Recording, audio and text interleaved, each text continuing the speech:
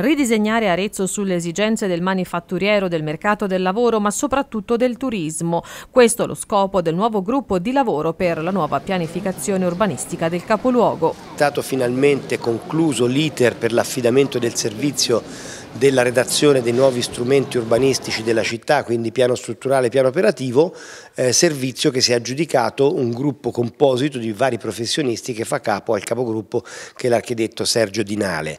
A loro il compito di disegnare la città del futuro, con, secondo quegli obiettivi che il Consiglio Comunale ha dato in un documento che è stato approvato in Consiglio Comunale a settembre dello scorso anno e che ha proprio come titolo le linee guida per la redazione dei nuovi strumenti urbanistici della città.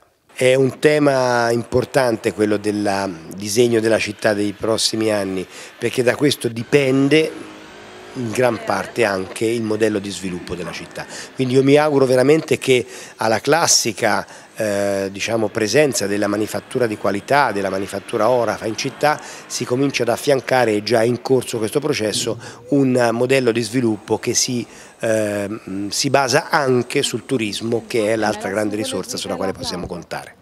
Via Galvani è una delle strade nelle quali ci sono molte infrastrutture inutilizzate.